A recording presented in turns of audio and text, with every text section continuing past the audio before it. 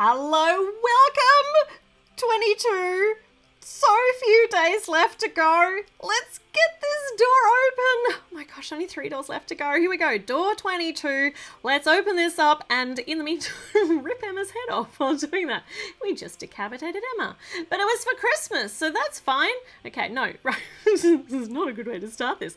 Right, so we have got a little Christmas feast to build with candlestick in the middle. That's cool. That's a reasonably rare piece too and a cake. Oh, all right. Okay, let's do this. So, good number of pieces in this little bag. This shouldn't this this shouldn't be too hard to put together. This should be reasonably logical. So we put these bits here, and then we hold them together with the green plate with the jumpery stud on it, and then uh, put it on the legs. And these ones go sideways so that they support the join in the middle, and then another leg on the other end and this is a very small small feast table. But i suppose the micro dolls are small too. It just means we're going to be cramming a lot of stuff into a teeny tiny table space.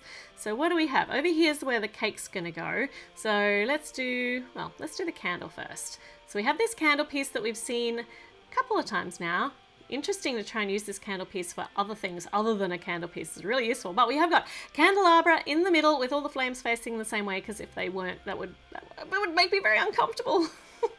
but, you know, it doesn't matter really, but it would make me uncomfortable. And on this side here, we have got three cups, three cups with pink stuff on the top. Mmm, delicious pink Christmas drink. There's space for another one. Uh, but, you know, that we haven't been provided with everything we need for that. And we do need a cake. A cake is important. These are a lovely mix of colours for a cake. So no Christmas pudding. You know, maybe it's a trifle. Though then it would be in a bowl, wouldn't it? But it kind of looks trifly coloured. I like trifle. do you like trifle? I like trifle. A lot of people don't like trifle. I don't understand that you know, soggy cake, cream, fruit, mm, custard. Mm, what's not to like? okay, so, oh, where am I going to put this? I mean, we could put it just in front of the kitchen where you would generally have a kitchen table. That looks weird there. So we might try and put it sideways here. Just kind of looks a bit exposed. It doesn't really fit in with the rest of the decor. Even the colours of the placemats don't kind of fit in. But anyway, we'll put it here.